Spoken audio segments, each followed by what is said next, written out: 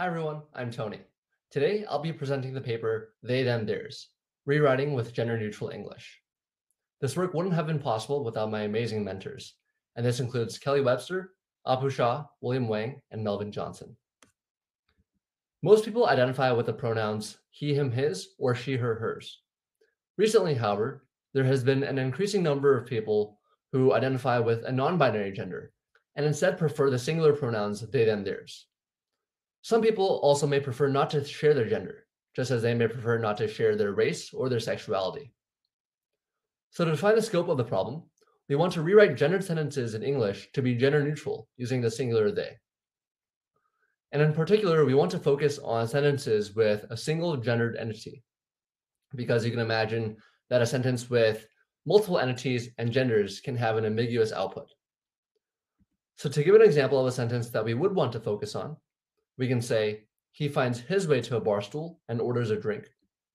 And the goal here is to rewrite the sentence to its gender neutral variant. They find their way to a bar stool and order a drink. Uh, for this problem, there are some significant challenges and hurdles to overcome. Our first idea was to use a simple rule-based method, but this has difficulty dealing with words with one-to-many mappings, such as his, her, she's, he's. There's also some difficulty identifying and rewriting relevant verbs while keeping the verbs that correspond to non-gendered subjects the same. On the, on the other end of the spectrum, uh, we could also train a sequence-to-sequence model. But a question here is, uh, how do we mine parallel sentences that are clean and of high quality, since there isn't really a data set for this task? Another tough question is, how do we evaluate performance if we have multiple models and we want to compare between them?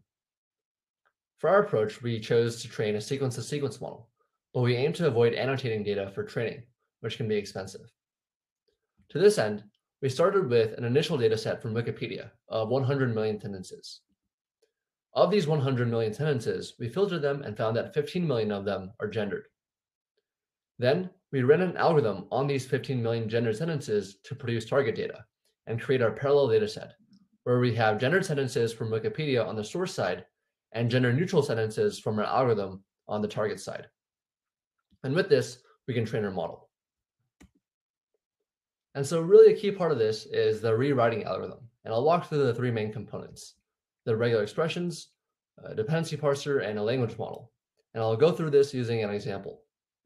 So say that the input sentence is, does she know what happened to her friend?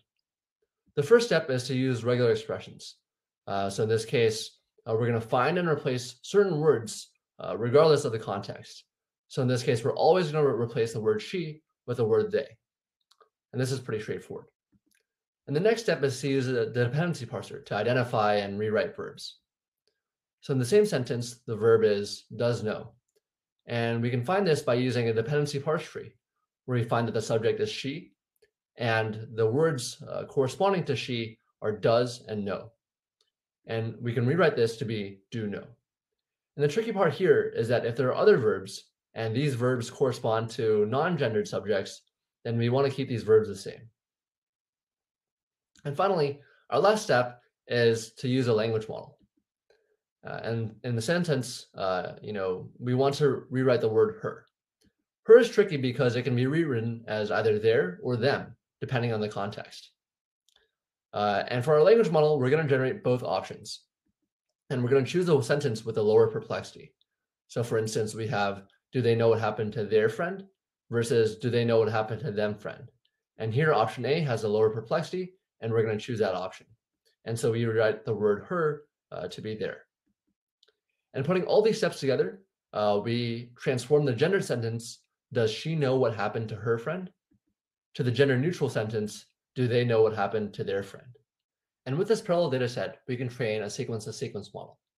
As a heads up, uh, the algorithm is not perfect.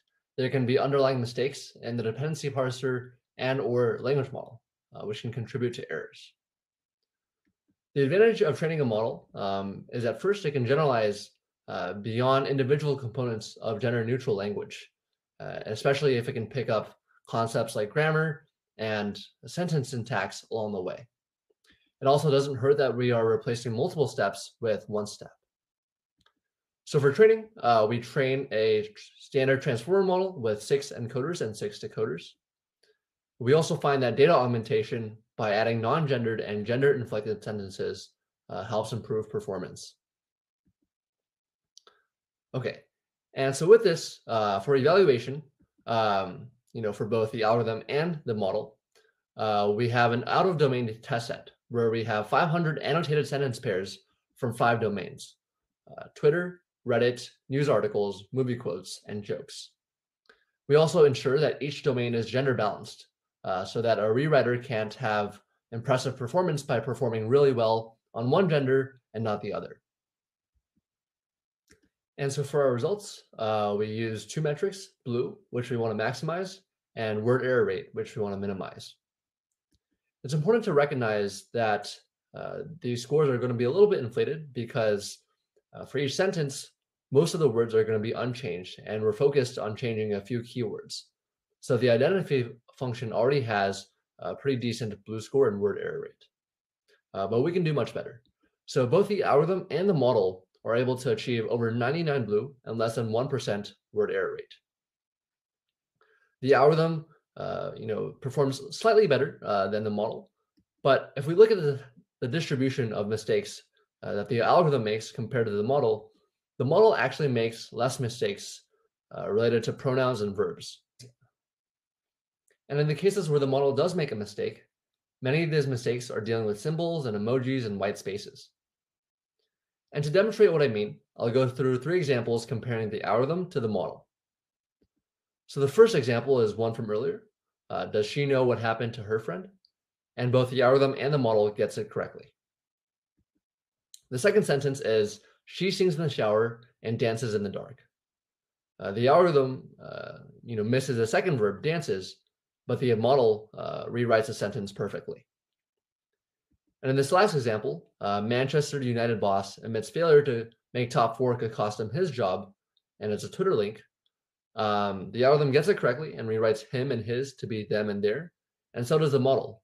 Uh, and it's a little bit hard to see here, but uh, the model uh, misses uh, or removes incorrectly removes a white space, um, and this is likely due to uh, you know a distribution shift where the model is being trained on uh, Wikipedia data, but it's being evaluated to some degree on data from Twitter. And these mistakes are general to sequence to sequence models, uh, which have difficulty being robust uh, to these kinds of sentences.